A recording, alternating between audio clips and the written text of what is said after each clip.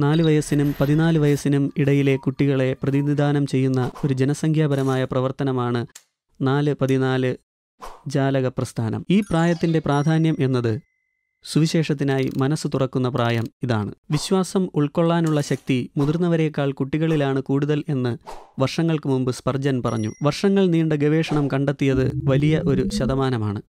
പക്ഷേ പത്തിൽ എട്ടു പേരും യേശുവിനായി ജീവിക്കും എന്ന് തീരുമാനിച്ചത് ഈ പ്രായത്തിലാണ്. അതുകൊണ്ട് ഇതൊരു സുവർണാവസരമാണ്.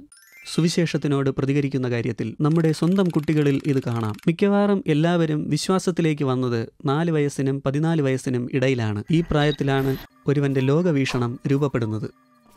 അത് അവരുടെ തീരുമാനമെടുക്കലിൽ സ്വാധീനിക്കും. ഈ പ്രായപരിധിയുടെ ഒടുവിൽ ഒരുവന്റെ ലോകവീക്ഷണം രൂപപ്പെട്ടിരിക്കും. അതുകൊണ്ട് ഇത് വളരെ പ്രാധാന്യമർഹിക്കുന്നു. സുവിശേഷത്തോട് നന്നായി പ്രതികരിക്കുന്ന പ്രായം ഇതാണ്. ഈ പ്രായത്തിലാണ് അവരുടെ മാനസിക നില രൂപപ്പെടുന്നത്. അവർ ഈ പ്രായത്തിൽ എല്ലാ കാര്യങ്ങളും ഉള്ളിലേക്ക് സ്വീകരിക്കുന്നു. അതുകൊണ്ട് ഈ പ്രായത്തിൽ അവരുടെ ഉള്ളിലേക്ക് കിട്ടുന്ന കാര്യങ്ങൾ പതിനാല് വയസ്സ് കഴിയുമ്പോൾ ദൈവിക ശുശ്രൂഷയുടെ ഭാഗമാകുവാൻ അവരെ സഹായിക്കുന്നതാണ് എന്ന് ഉറപ്പുവരുത്തുക.